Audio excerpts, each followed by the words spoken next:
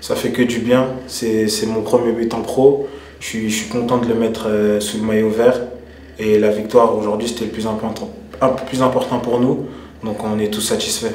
on va essayer. Hein. On va essayer pour continuer à marquer des buts, être euh, décisif pour l'équipe et apporter un maximum. Ouais, j'ai beaucoup couru ces, ces, derniers jours et aujourd'hui. Mais j'ai donné le maximum et euh, j'avais plus de jeu à la, à la fin. Donc je suis satisfait d'avoir tout donné.